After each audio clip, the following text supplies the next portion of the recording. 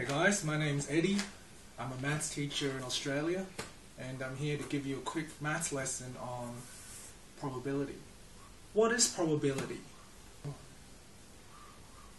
Probability is the chance of something happening. There are two different types of probability, experimental and theoretical. Today we're going to talk about experimental probability, which is the probability obtained from conducting an experiment. If I was going to take a shot right now, what would be the chance of this shot going in? Now let's do an experiment to find out.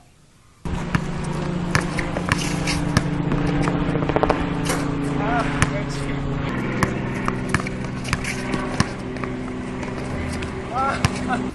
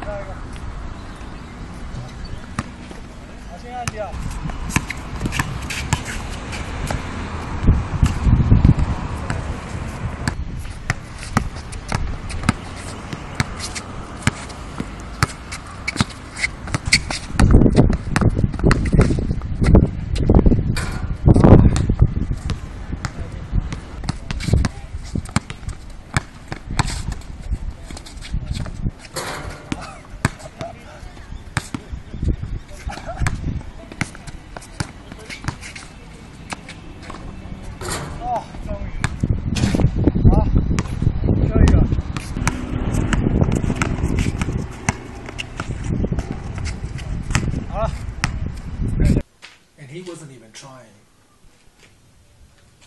So in that game I just played with my brother, I got three shots in out of nine, which explains why I'm a math teacher and not a basketball player.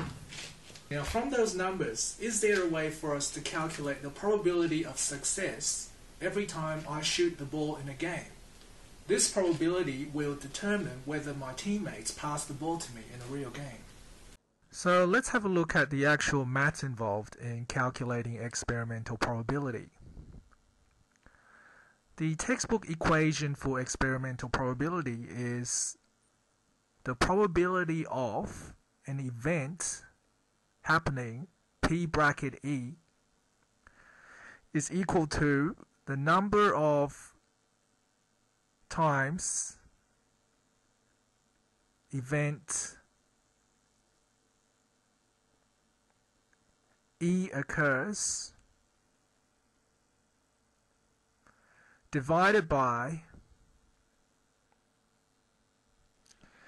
total number of trials. Okay, so if you remember from our experiment, uh, the number of times event E occurs, our event was shooting the ball into the hoop. And the number of times it has occurred, if you remember, I got a total of three shots into the hoop. So that's three. The total number of trials, and that simply means uh, how many shots have I taken. And I've actually taken nine shots in total in that game against my brother. So therefore, probability of E occurring is 3 divided by 9, which is equal to 1 out of 3 if you simplify the fraction. And if you put in 1 divided by 3 in the calculator, you will get 0.3 recurring. So that's 0.333 or you can write it as 0.3 recurring